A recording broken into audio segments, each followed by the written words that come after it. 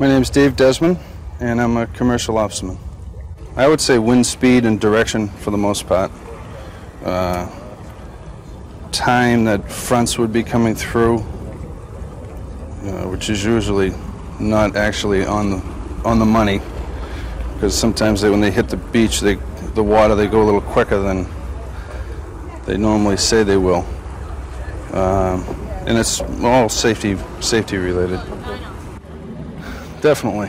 Um, a couple years ago, in the middle of February, we got uh, we were fishing out of Gloucester, about 45 miles southeast of Gloucester, and they had forecast uh, warnings and a front to come through. Everything was the, it was posted, but they had posted it for later in the day, and we expected to haul at least half of the gear and get it set back before we had to go in and we only got through half of what we thought we could get through before the storm came through.